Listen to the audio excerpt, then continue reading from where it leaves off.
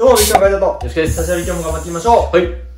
本日の動画は、弓道部の無風な話。いや、今日はですね、マクドナルドをお昼ご飯食べながら、僕たちが、まあ、体験した、まあ、弓道部の無風な話をちょっとしたいなと思います。弓道部ってさ、はい。こう男女でこうやるスポーツで結構合宿とかだったり、まあ、普段の練習とかも結構男女で一緒にやることが多いんで、うんその中でねあの僕たちが、まあ、体験した面白話だったりっていうのをうんちょっとね、食べながらお話ししたいなと思います。おーい、枝豆用のフォークもらっていいいいな。僕はてりたまと枝豆とベーコンポテトパイとコーラです。ありがとうございます。私はですね、てりたまとポテトとコーラになります。異性がいてよかった話ってことだよね。まあ、そうだね。結構弓道部って結構特殊じゃないですか。結構まあ普段の練習もイベントも全部男女で一緒にやるんで普段あまり女の子と接点がない人でうん。もこう強制的にこう接点ができちゃうっていうそうだね。しぶしぶね。しぶしぶ強制的に接点あるんですよ。弓道部っていうのは。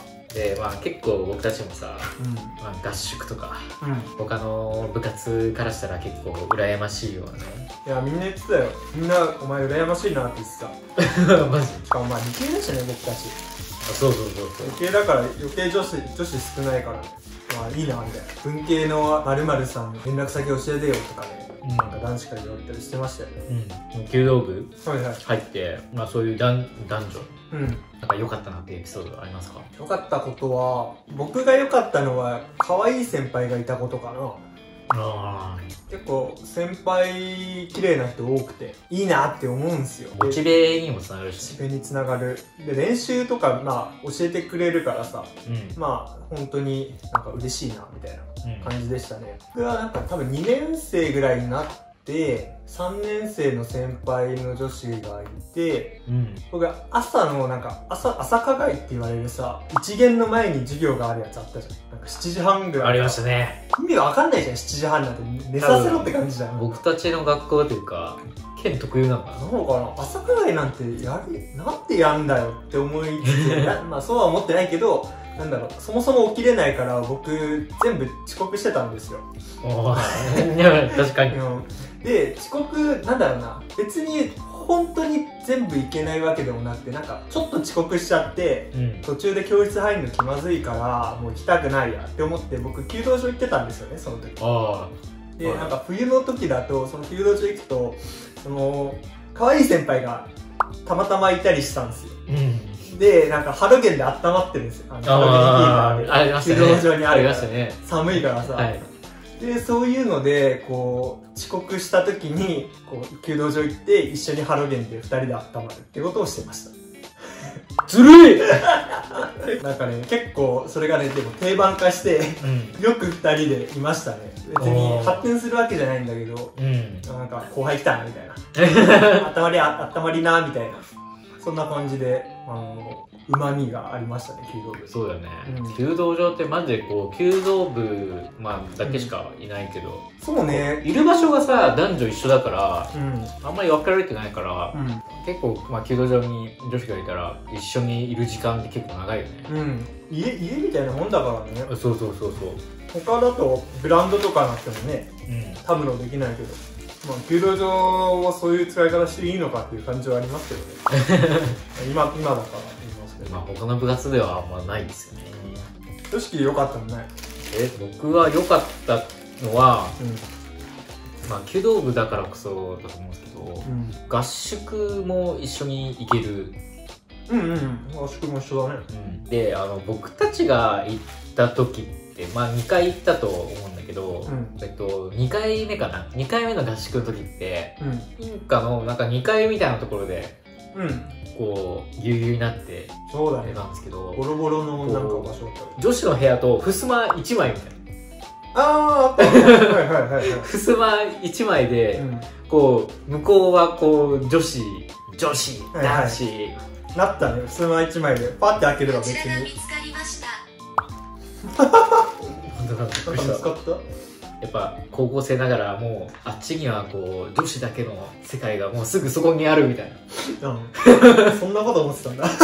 僕思ってなかったですね。でまあ合宿？まあ合うん宿そういうこともあったんですけど、結構僕たちの部活はうんこう肝試しっていうのがね夏の。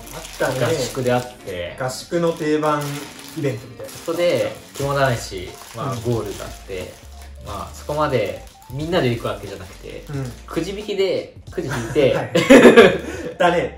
そうくじ引きで相手を決めるやつ、そうそうくじ引きで相手を決めるんですけど絶対男からだったら女の子のペアがはいはい。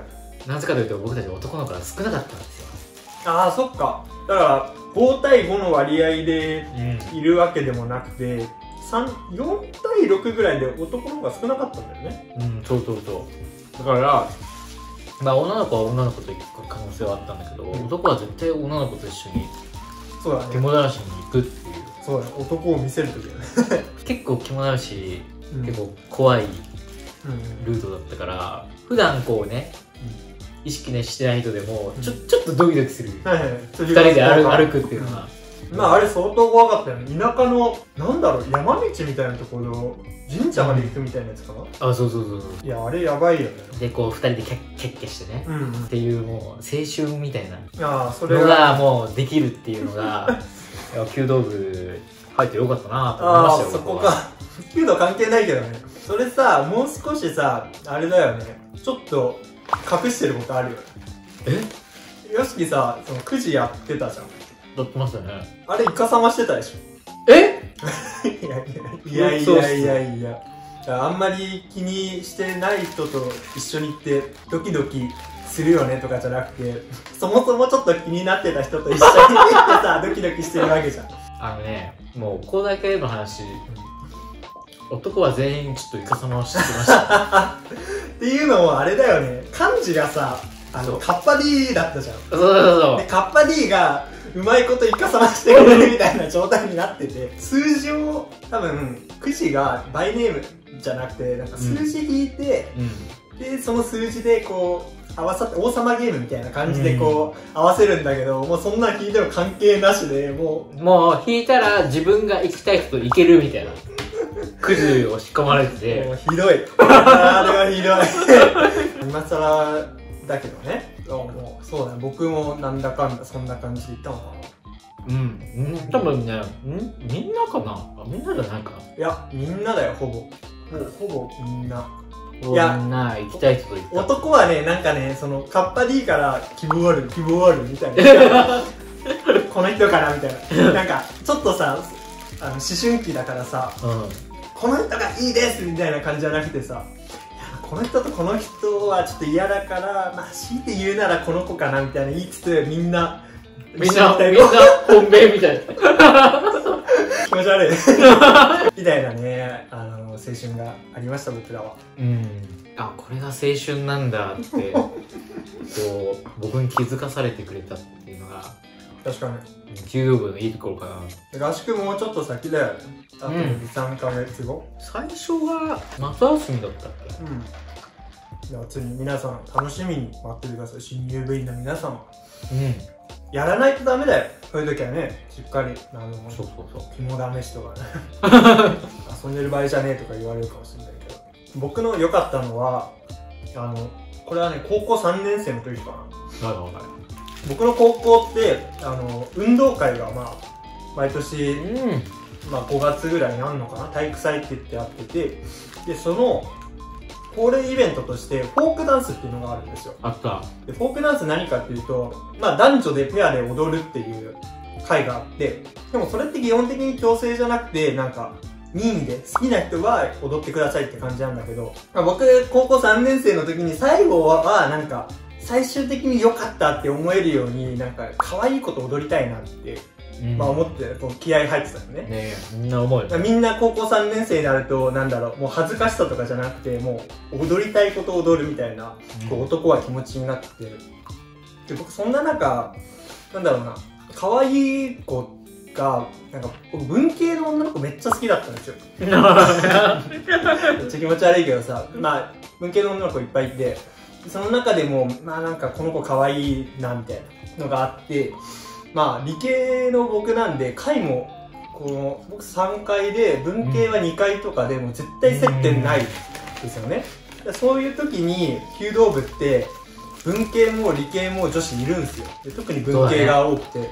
だ,、からあのね内通者を見つけることができたっていうね だ結果その内通者あの同じその狙ってた女の子と同じクラスの女子が弓道部にいたんでその子にちょっとその子まず一旦相手今いるかちょっとき聞いといてみたいな明日聞いといてみたいなのを部活で話して、で次の日の部活でいないっていうのって聞いてじゃあちょっとどうかなみたいな。はい。貝沢くんどうかなみたいなのちょっと聞いてみてみたいなで聞いてもらって次の日になんかもう別にみたいな感じだよ。でじゃあちょっとメアドもちょっと次教えてもらっていいみたいなもう無駄なやり取りを内通者にしてもらった。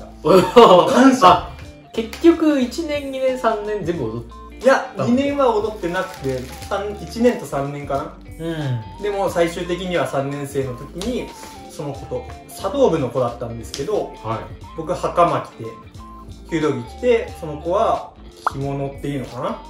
着て一緒に踊りました。い僕は指を加えて見てました。えそうだっけ？3年の時俺は1年生で強制だったじゃん。強制だった。強制的に踊れみたいな。これ弓道部のあの先輩たちが強制で踊れって言われてたんですよ。そう1年生は強制だったから1年生しか僕は踊ってない。あれ？そっか。うん。ああそうなんだ。23年はまあ多分芋ってたんだよね。うん。絶対そう。だてかいい子ってもう先取られちゃうから。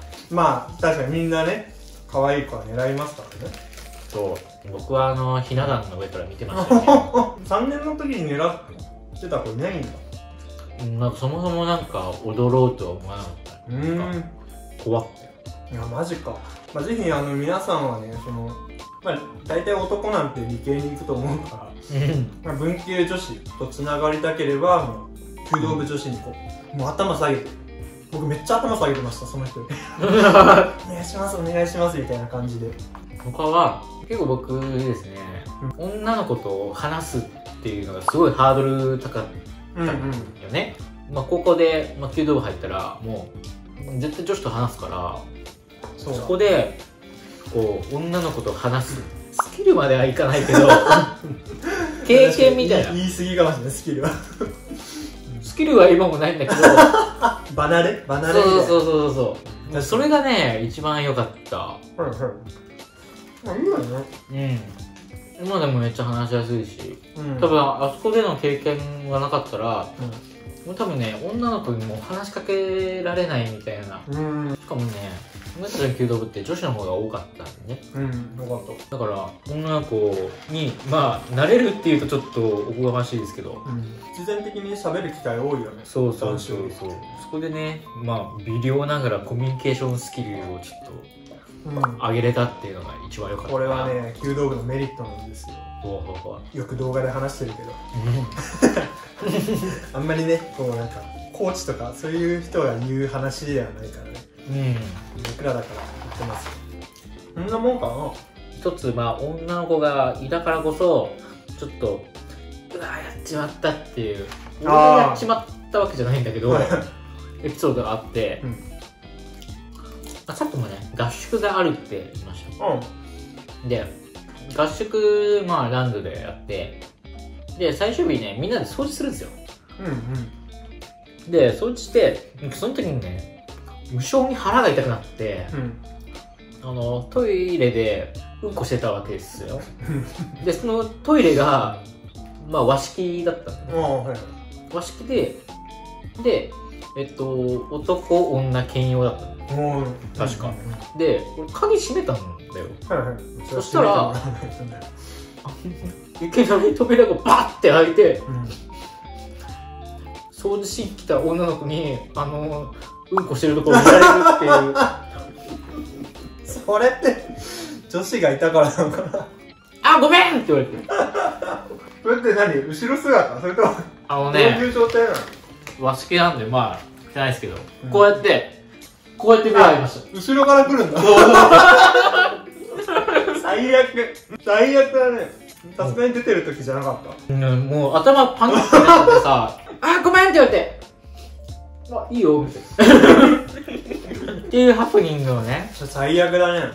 男に見られても嫌だけど。さうん嫌だよ、いや結構中高ってまあ恥ずかしい。俺恥ずかしかったから。確かでもそのなんか女子部員は結構さっぱりめのそうそうそうそう。サバサバ系だったからね。今も仲いいけど。うん。結構清楚系とかだったら 別に俺が何かやったわけじゃないけどね。俺だったらうんこしてただけだから。まあ鍵がね壊れてたんですよ、鍵があれ。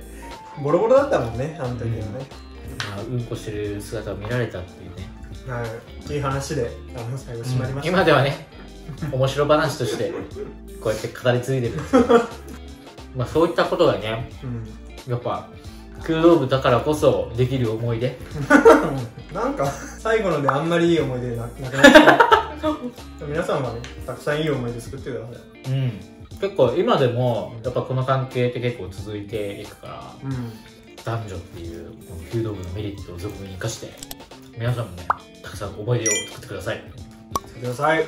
はい。以上吉野の小林さんいいねボタン。よチャンネル登録。ろしくお願いします